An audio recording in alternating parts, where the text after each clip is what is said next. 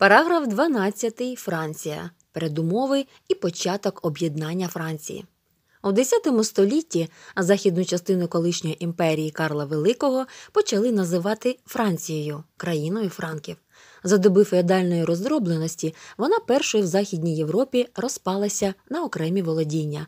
Герцогства Нормандія, Аквітанія, Гасконь, Бургундія, графство Тулузьке, Шампань, Фландрія, яка була одночасно васалом французького і німецького королів, та інші. Кожне з них було державою в державі, а їхні правителі часто були могутнішими за французького короля. Після останнього короля з династії Каролінгів французька знать обрала новим монархом графа Гуго Капета, який започаткував нову династію капетингів. Перші капетинги майже не мали влади в країні і були господарями лише у своєму домені герцогстві Іль-де-Франс. Спираючись на підтримку представників різних верст населення, вони розпочали боротьбу за об'єднання країни. За правління Анрі І влада короля була вкрай послаблена кровопролитними чварами і боротьбою з непокірними васалами. У ці часи Франція, як і вся Європа, переживала господарські піднесення, проте розвитку заважали міжособні війні на свавілля феодалів. Тому селяни, ремісники і купці були зацікавлені в сильній королівській владі, яка б об'єднала країну. Королі вміло використовували такі ситуації та підтримували міста, захищали їх у боротьбі проти феодалів. Міста, у свою чергу, допомагали королю приборкувати васалів. Із розвитком господарства відносини між феодалами і селянами швидко змінювалися. Одні феодали намагалися примусити селян платити більше, і невдоволені селяни тікали до міст. Інші звільняли селян від залежності і вимагали лише регулярної сплати грошей. Для того, щоб утримати в покорі вільних селян і відшукати втікачів, дрібним і середнім феодалам була потрібна сильна центральна влада, тому вони почали підтримувати короля. Деякі дрібні рицарі, невдоволені своїми сеньорами, також шукали справедливості в короля. Наприкінці 40-х років XI століття король Анрі І відправив посольство до Великого князя Київського Ярослава Мудрого з проханням віддати за нього заміж його доньку Анну. Прибувши до Франції, остання писала батькові до якої страшної країни ти мене віддав. Тут звичаї потворні, житло похмуре, церкви жахливі. У шлюбі з Анрі Анна народила трьох синів, із них королем став старший Філіп. У 1059 році, у віці семи років, за традицією капетингів Анрі І коронував Філіпа та зробив його співправителем. Приблизно рік по тому Анрі І помер. Після цього Анна Ярославна впродовж шести років правила Францією як регентша від імені сина. Церква, що засуджувала безглузді міжособні війни, під час яких гинули тисячі людей, також стала на бік короля. Так, спираючись на підтримку міщан, дрібних і середніх феодалів і церкви, французькі королі розпочали боротьбу за об'єднання країни. Із правління Філіпа І розпочалося посилення королівської влади. Король розгорнув наполегливу боротьбу зі свавільними феодалами, замки яких межували з його володіннями. На початку XII століття Луї VI Товстий припинив сваволю феодалів на землях свого домену. Одні замки бунтівної знаті він зруйнував, в інших розмістив королівські гарнізони. Наприкінці життя Луї VI Товстий одружив свого сина з Елеонорою, єдиною спадкоємицею Аквітанії, величезного герцогства на півдні Франції. Проте незабаром вони розлучилися. Новим чоловіком Елеонори Аквітанської став майбутній англійський монарх Генрі II Плантагенет. Після його коронування до Англії перейшла майже половина території Франції. Значних успіхів у боротьбі за об'єднання Франції досяг король Філіп II Август, який відібрав в англійських плантагенетів більшість цих французьких володінь. Відтак близько половини території сучасної Франції опинилися під його владою. Його син Луї VIII Лев установив контроль над багатими південно-французькими містами і Тулузьким графством. Франція за правління Луї IX святого та Філіпа IV Красивого. Король Луї IX святий уклав з Англією договір, за яким англійськими володіннями на континенті залишалися Аквітанія та Гасконь. У німецьких імператорів він відібрав південну Італію та Сицилію. Луї IX запровадив чимало змін в управлінні державою, що сприяли посиленню авторитету королівської влади. На території королівського домену було заборонено поєдинки як спосіб вирішення суперечок. Для їх розв'язання необхідно було звертатися до сеньорального міського або королівського суду, Паризького парламенту судових справ, який вважався вищою судовою установою країни. Луї IX започаткував створення в країні єдиної грошової системи.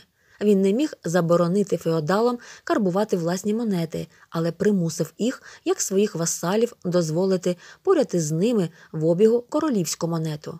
І з часом вона витіснила місцеві гроші.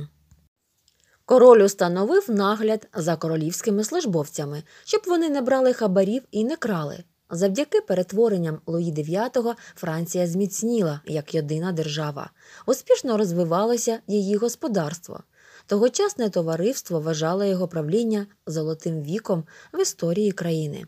Боротьбу за об'єднання країни і посилення королівської влади продовжив Філіп IV Красивий, якого в тогочасній Франції називали залізним королем. Вигідно одружившись, він отримав шампань і королівство Навара, а потім розпочав тривалу боротьбу за графство Фландрія. У липні 1302 році війська Філіпа, що складалися із французького дворянства шляхти, були вщент розбиті ополченням фландерських ремісників і селян у битві під Куртре. Зміцненню королівської влади сприяли суттєве збільшення повноважень королівського суду і створення основ Державної податкової служби, запроваджені Філіпом IV Красивим. Для посилення боєздатності армії феодальне ополчення було замінено на наймане військо. Для здійснення своєї політики Філіпу IV потрібно було багато грошей. Щоб їх отримати, король проявив велику винахідливість. За зменшення кількості золота в монеті його прозвали королем фальшивомонетником. Україні це призвело до знецінення грошей.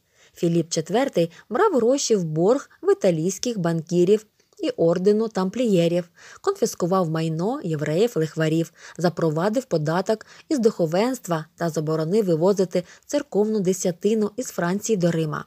Останнє спричинило конфлікт короля та папи римського. У 1302 році для забезпечення своєї підтримки Філіп IV вперше скликав Генеральні штати. У Генеральних штатах кожен із трьох станів утворював окрему палату, що мала один голос і працювала самостійно. Вони не стали постійно діючим органом і скликали за бажанням короля, щоб надати його рішенням загальнонародного характеру. Виникнення Генеральних штатів свідчило про формування у французькому королівстві станово представницької монархії. Генеральні штати підтримали рішення короля, що церковна десятина має залишитися у Франції, і закликали всіляко захищати інтереси країни в конфлікті з папою римським. Під тиском Філіпа IV було обрано іншого папу, резиденцію якого стало місто Авіньйон у Франції. В історію ця подія увійшла як початок авіньйонського полону пап. За згодою авіньйонського папи король ліквідував орден тамплієрів, який оселився у Франції. Філіп IV чимало заборгував ордену і сподівався також отримати його багатства. Більшість членів ордену тамплієрів за наказом короля заарештували, а його майно передали до королівської скарбниці. Проте жодних багатств знайдено не було. Слідство над тамплієрами тривало сім років. Великого магістра ордену Жака де Моле засудили до спалення на багатті. Оповитий полум'ям, він прокляв папу, короля та його нащадків. Згідно з історичними джерелами, прокляття справдилося. Спочатку, як проголосив великий магістр, помер папа Климент V, потім король Філіп IV, далі його три дорослі сини. Королівський престол перейшов до бічної гілки капетингів династії Валуа. Столітня війна. Після смерті всіх синів Філіпа IV знать проголосила королем Філіпа VI Довгого із династії Валуа, Англійський король Едвард III, що був онуком Філіпа IV Красивого, висунув претензії на французький трон. У 1337 році, отримавши відмову і дізнавши, що Філіп VI забрав у нього володіння на південному заході Франції, Едвард III оголосив війну. Столітня війна, як її називали в 19 столітті, тривала з перервами 116 років. Дослідники поділяють її на чотири етапи. Перший етап Едвардіанська війна був успішним для Англії. Вона спочатку розгромила французький флот, потім вторглася на територію Франції. Активність воєнних дій зменшила епідемія чуми, яка уразила Європу в цей час і забрала в сотні разів більше життів, ніж війна. За підсумками першого етапу столітньої війни Едвард III здобув близько половини васальних володінь Франції та половину Британії, Аквітанію, Кале, Пуатьє. Франція втратила близько третини своєї території. 1360 і 1369 роки стали часом миру в історії столітньої війни. Було укладено договір, що включав подальші претензії Едварда III на французьку корону. У 1369 році французький король Шарль V, прагнучи повернути втрачені землі, звинуватив короля Англії в порушенні миру і оголосив йому війну. Другий етап столітньої війни називають Каролінською війною. Упродовж нього французька армія досягла значних воєнних успіхів і витісніла англійську зі своєї країни. Виснаженість обох сторін примусила Шарла V Великого в 1396 році укласти перемір'я, яке тривало до 1415 року. Вторгнення до Франції англійського короля Генрі V Ланкастера з його армією започаткувала третій етап, відомий як Ланкастерська війна. Він був успішним для англійської армії. У 1428 році вона взяла в облогу французьку фортецю Орлеан, яка стала для англійської армії останньою перешкодою на шляху до повного підкорення Франції. На 1428-1453 роки припав завершальний етап столітньої війни. У ній відбувся перелом, у результаті якого англійську армію витіснили із Франції. На початку цього етапу на політичній арені Франції з'явилася Жанна Дарк. Жанна Дарк завершення столітньої війни. У березні 1429 року до двору спадкоємця французького престолу дофіна Шарля прибула дівчина в чоловічому одязі. Вона сказала, що її звуть Жанна, і прийшла вона із села Домремі Лотарингії, щоб визволити Орлеан, вигнати англійців із Франції та коронувати дофіна. Жанну допустили до армії. У рицарському вбранні із королівським прапором у руках вона стала символом майбутньої перемоги. У Жанні Дарк вбачали знаряддя Бога та були переконані, що Бог не може сприяти поганій справі країну охопило патріотичне піднесення. Під прапором Шарля почали сходитися ті, хто бажав урятувати Францію. Тим часом Жанна на чолі армії справді вчинила диво. За 17 днів французька армія зняла облогу з Орлеана та здійснила рейд до Реймса, міста, де відбувалася коронація французьких королів. Коронація Шарля в Реймсі перетворила дофіна в очах французів на законного короля а боротьба за короля у свідомості тогочасних людей це боротьба за країну. Після коронації Шарль VII Звитяжний почав із підозрою ставитися до Орлеанської діви, популярність якої зростала. Король боявся, що вона може затьмарити його, тому вирішив її позбутися. Жанні доручали ризиковані воєнні операції. Під час оборони міста Комп'єнь вона потрапила в полон до бургонців, що були союзниками англійців. Шарль VII нічого не зробив, щоб порятувати Жанну. Вона постала перед англійським судом, який постановив, що Жанна відьма, а тому коронація Шарля не мала чинності. За вироком суду її спалили на багаті. Хоча Жанна і загинула, розпочата нею справа мала позитивні наслідки. У У 1436 році Шарль VII вступив до Парижа, а до 1453 року всю територію Франції, крім міста Кале, було визволено від англійців.